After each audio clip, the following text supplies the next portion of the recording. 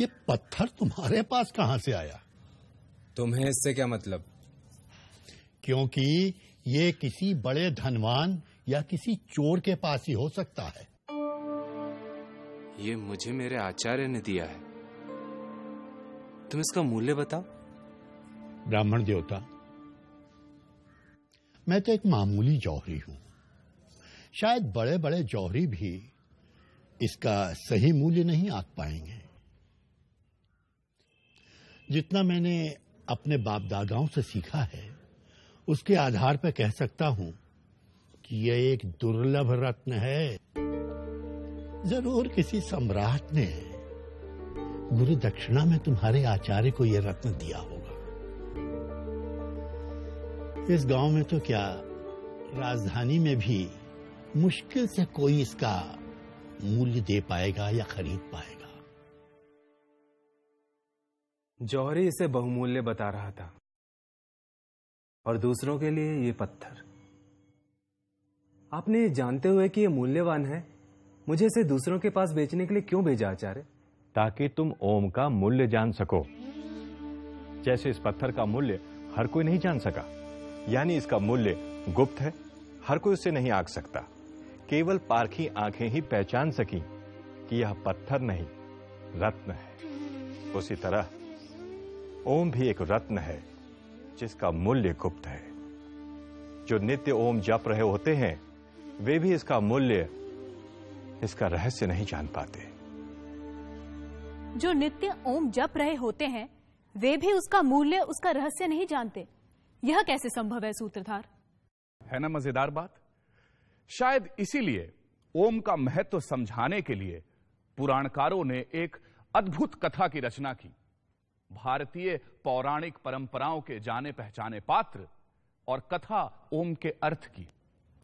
प्रजापति! प्रजापति!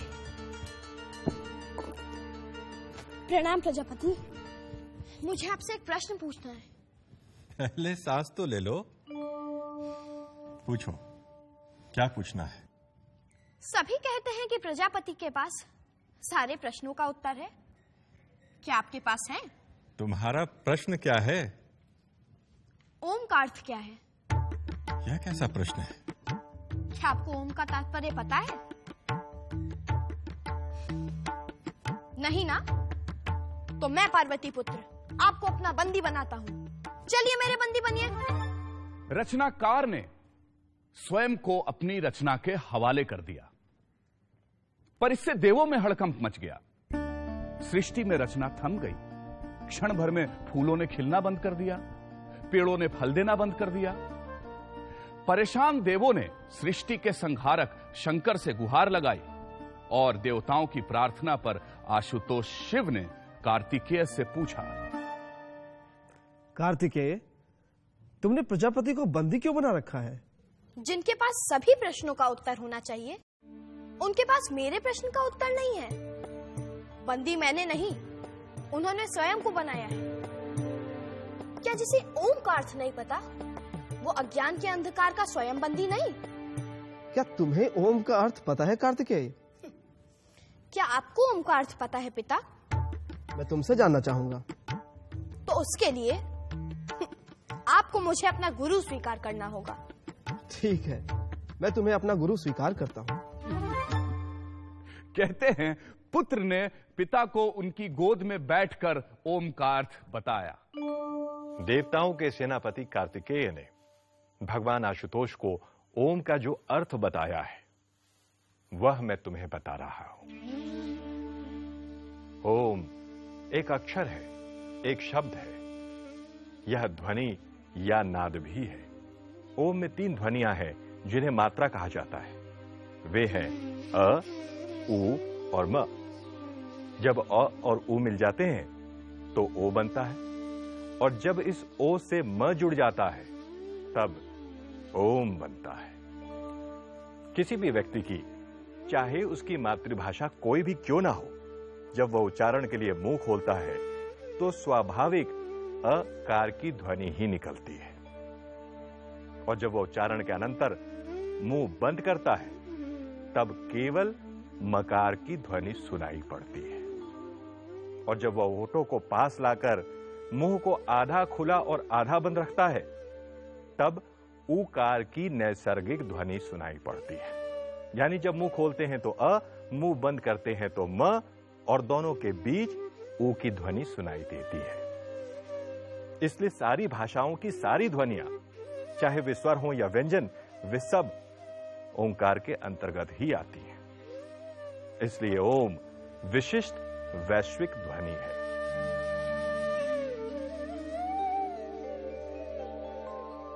ओम ईश्वर का प्रतीक भी है। मांडू के उपनिषद के अनुसार जागृत अवस्था का समग्र जागृत प्रपंच ओंकार की प्रथम मात्रा अ से अभिव्यक्त होता है। समस्त स्वप्नावस्था का प्रपंच उ मात्रा से अभिव्यक्त होता है और सुषुप्ति अवस्था का प्रपंच म से अभिव्यक्त होता है। संपूर्ण प्रपंच ही ईश्वर है और जागृत, स्वप्न और सुषुप्ति ही समस्त प्रपंच है और इन तीनों का प्रतीक अ, उ, म है। इसलिए ओम ही ईश्वर का अति अद्भुत प्रतीक है। ओंकार ईश्वर के निर्गुण स्वरूप का प्रतीक भी है। मांडुक उपनिषद का घोष है कि जैसे तीनों अवस्थाएँ ब्रह्म या आत्मा से ही उत्पन्न होती हैं और उसी में विलीन हो जाती हैं, वैसे ही तीन मात्राओं से बना ओम भी शांति या निशब्दता से उत्पन्न होता है और उसी में विलीन हो जाता है। इसलिए दो ओंकार के उच्चारणों के अंतराल के बीच की निशब्दता, जिसे अमात्रा कहते हैं, निर्गुण ब्रह्म का ही प्रतीक है। ओंकार के उच्चारण के समय अ मात्रा उ मात्रा में उ मात्रा म मात्रा में विलीन और म मात्रा निशब्दता में विलीन हो जाती है। उसी प्रकार उपासना के समय इसी ओम के उच्चारण को आधार ले साधक स्थूल जागृत प्रपंच को सूक्ष्म या मानसिक प्रपंच में और सूक्ष्म प्रपंच को कारण प्रपंच में विलीन करता है। आगे उसका भी अतिक्रमण कर वह केवल शांत निर्गुण, शांतम शिवम, अद्वैतम आत्मा में ही स्थिर हो जाता है। यही ओंकार उपासना की चरम सीमा है। यानी ओम वह सब अभिव्यक्त करता है, जो कुछ अस्तित्व में है, और जो समूचे अस्तित्व का मूल है, और जो सबसे परे है वह भी। ओम को प्रणव भी कहते हैं, यानी वह जिसके द्वारा ईश्वर की स्तुति की जाती है। सूत्रधार ओम का दार्शनिक अर्थ तो मैं समझ गई। पर बहुत से मंत्रों और प्रार्थनाओं में प्रारंभ में ओम क्यों कहा जाता है? जैसे ओम नमः शिवाय, ओम नमो नारायणाय, ओम नमो भगवते वासुदेवाय इत्यादि। नटी, ऐसा कहा जाता है कि ईश्वर ने संसार की रचना ओम और अथ का उच्चारण करने के पश्चात आरंभ की थी। इसीलिए ऐसी मान्यता है कि किसी भी कठिन कार्य को आरंभ करने के पहले ओम के उच्चारण की ध्वनि शुभ होती है। इसीलिए बहुत से मंत्र और वैदिक प्रार्थनाएँ ओम से ही आरंभ होती हैं। इतना ही नहीं, दैनिक जीवन में अभिवादन के लिए भी ओम का प्रयोग किया जाता है, जैसे हरि ओम। तो नटी, इस प्रकार ओम सब कुछ व्यक्त करता है। जीवन का लक्ष्य और उस लक्ष्य तक पहुँचने का साधन, जगत और उसका अधिष्ठान रूप सत्य। तो फिर प्रजापति का क्या हुआ सूत्रधार? उन्हें तो छूटना ही था नटी पर उनके बंदी होने के कारण देवताओं और मनुष्यों ने ओम का गुढ़ार्थ जाना।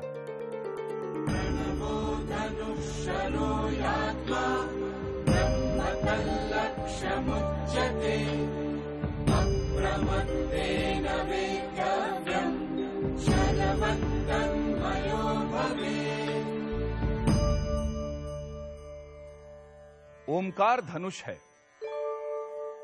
जीवात्मा बाण है, और अक्षर ब्रह्म उसका लक्ष्य कहा गया है।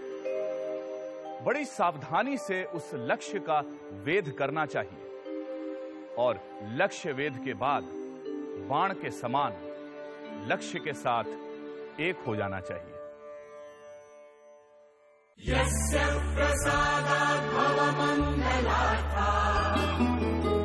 गङ्गोपनिषत्तिशब्दा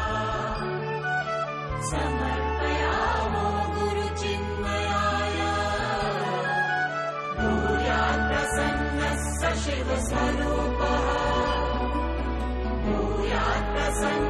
स शिवस्वरूपः भूयात्प्रसन्नः स शिवस्वरूपः